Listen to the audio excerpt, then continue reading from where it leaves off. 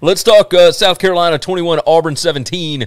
And uh, yeah, Bryan Harsin, this this thing is quickly headed into the ditch. Now they do have Alabama at home this weekend, and crazy, crazy, maniacal shit happens in Jordan Hare Stadium that Thanksgiving weekend every other year for whatever reason. It's always something insane. But this year there is no Bo Nix magic. We would basically have to see TJ Finley do something that he hasn't done ever, really. So look, South Carolina did not get out of their game plan. They did exactly what they wanted to do the entire ball game. Auburn came out, was able to score quickly, and and then they did nothing for the rest of the game. They had two touchdowns on their first three drives. One of those was aided by, uh, I mean, it was a short field. Uh, really, both of them were short fields. Uh, the first drive was six plays, 49 yards. The second one was seven plays, 61 yards. After that, I, this was exactly what you would think it would be, right? Three, like low scoring, a uh, lot of running the football, and Tank Bigsby, 22 carries, 164 yards, and a touchdown. You had 149 yards rushing on 41 attempts from South Carolina. None of those were touchdowns. Jason Brown threw three touchdown passes. He had the one interception that led to a touchdown the other way. But this is this is awesome. Like I, I love seeing this from teams that are trying to establish a culture, and that's exactly what Shane Beamer is attempting to do. On the other side, I'm I'm trying to talk really nice about South Carolina mm-hmm. while also getting to what is going on at Auburn. And obviously, your starting quarterback's out, your kicker's out. You got a couple other guys that are actually out. I'm I'm so curious about what is going on because I've heard all kinds of, you know, Harsin doesn't like it in the SEC, and he obviously there were a bunch of rumors about he may be going to Washington. Well, that all kind of plays on the idea that he is actually vaccinated, which I don't want to get political on the show, but if he's not vaccinated at Auburn, he can lose his job at the beginning of December. So there may be a lot more going on under the surface here than than anybody really knows. But I I can't figure this football team out. I don't know what Auburn is because I've seen them play really really good multiple times and also seen them play really bad. Next week, by the way, huge for our buddy Kyle on the BetUS show because he has got Auburn under seven wins and he certainly needs to cash that one. So yeah, I'm I'm curious. What what did you think about this one? Because I, I wasn't shocked by this. I, I had bet South Carolina, but this Auburn team does not look like the same team that we saw just along the lines of scrimmage just a few weeks ago. Yeah, I, I haven't I haven't gone too deep into their injury issues but it but it does seem i mean like texas a&m just absolutely murdered and then mississippi state they just gave up i mean i don't know how you lose that game. You just you just give up. And then this game it, it again i don't i don't know that it came down to whether that gentleman touched the ball or not but i think that's a hilarious sec ending regardless. Yes. And that if you're auburn you should not be in the situation in a game that you're favored by more than a touchdown of needing um, a microscope to decide whether you lost possession on a punt or not um, I, I, really think that um, one, if Auburn opens, dude, uh, I'm going to use my one curse word. Sorry, shit is going to get wild, wild. Yes, it's it's already a crazy coaching carousel season anyway, and we know it's going to get yeah. even more crazy. But God, you want to talk about fun hypotheticals? If if Lincoln were to take the LSU job and then Josh Heupel takes the uh, the Oklahoma job, because I'm, I'm, sure that he would be one of the next ones up, right? Because of, of, what he's done at Tennessee. If you have, yeah, but they fired him. I don't know. They like it. anyway. Go, go, go, yeah, that's I, I agree. Uh, but it, it, say say they've got Heupel that that Oklahoma brings in after one season. So Tennessee loses a coach after one season. Auburn loses a coach after one season.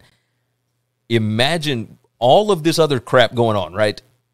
If you have Tennessee and Auburn both open in the same cycle again a year later, like without a bunch of NCAA stuff and whatever else, like this is awesome. we feasibly could have in two weeks, Gary, we could have Miami, Virginia Tech, Florida, Auburn, LSU, Washington, UC, USC, Washington State, TCU.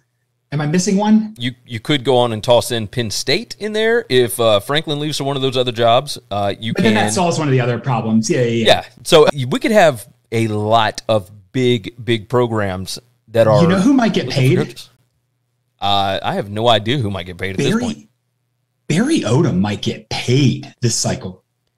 Tennessee or Auburn could do way worse would, on this short they, notice in this market. I think Barry Odom would need to go somewhere where the fan base will not be so openly negative because you know both of those will be right. like there are some yeah. fan bases I mean, where I'm, he could I'm go. at the point I wouldn't take. I, I don't think I would take either of those jobs. Tennessee yeah, just what I've seen from Tennessee fans this year with like the the slightest improvement in situation and them still to be complaining, like, yeah, I, I don't know that I would take either of those. Yes. Uh, it's going to be weird. I wonder if more people aren't going to try and do like Colorado hired Karl Dorrell, like. Yeah, which by the way, Colorado won. It's not one of my games that I wrote down, but Colorado beat Washington yesterday. Like, yeah, I, I really needed Washington to win that ball game so that so I could go and cash, uh, cash my under there. But uh, but alas, here we are. Got a few questions in the chat here. Will let's see, will Florida State uh, be able to retain? No, no, no. Will Nevada Reno be able to retain Jay Norvell? I thought he was talking about Mike Norvell. Ball Python Love said, I hope so. He signed until 2024. The way that things are going, I could certainly see Jay Norvell getting a job. Um, but I mean, obviously, it all it all depends. It all depends. The last two weeks have not helped him at all. If he leaves, bring back Chris Ault. Yeah, I could I could totally see that. Gary Lewis a great point about Harsin and inoculation. It's why I tune in. I learn from you guys every week. Chris Ault and Dennis Erickson, two of the greatest offensive minds in college football during their era. Ault's pistol formation is still used in the NFL and college football right now. It is. It absolutely that, that pistol formation. Alabama loves running stuff out of that pistol. They have not done so much under Bill O'Brien, but yeah, they they have run a pistol a lot. Let's see. Great out west uh, college football head coaching candidate Kalen DeBoer of Fresno. Yes, DeBoer for sure. But you got to be. Fresno was like the perfect fit for him as far as being a head coach because there is a ton of support. Like they they really give him basically everything that he that he needs. Baylor staff is going to get picked at, said Larry. And Gary Lewis said, "I'm not a huge Jay Norvell fan. I was not a huge Jay Norvell fan. I will tell you this: I I like Jay Norvell. Like I I don't think that he's a guy that you expect to win like championships from but I think he's a guy that can like build a foundation for a program. It's it's very much a Mike Leach kind of thing with what he runs. Like you're always going to run up against somebody that knows how to stop it. But for the most part, if yeah. you're wanting to get from the bottom up to about the middle tier, he's like a really really good coach. It's it's very much Chris Creighton at uh, at Eastern Michigan for me. Like he's somebody that's going to win. In in some some years he'll do. Some years he will be eight and four some years nine and three.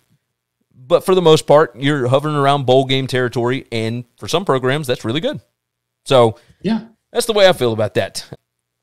We I think there's taking- a couple interesting guys out west, like Kurt Mattix, the San Diego State head coach, has been around and and doesn't necessarily have the Brady Hoke stink on him. And his defense has been great for a while and and really innovative. I know a bunch of guys like like his clinic videos and stuff. Yeah. I wonder how long until the Kendall, speaking of stink, I wonder how long until somebody can hire Kendall Briles as their head coach. That's, um, I would think soon. Like, I, yeah, I think I think we're getting there. Yeah. And then the other one that is interesting is uh, at Kent State, Sean Lewis and Andrew Sowder. That offensive coordinator was a Briles guy at Baylor. I think that people would like him Kent, for sure. So Kent interesting State, to see if, if somebody Texas adjacent hires them. If uh, if Kent State wins the MAC this year, I would almost guarantee he's gone this season. Yeah. Because right now it looks like it's Kent State and Northern Illinois, and Kent State already beat them once. So, yep. you know, we, I could I could certainly see that.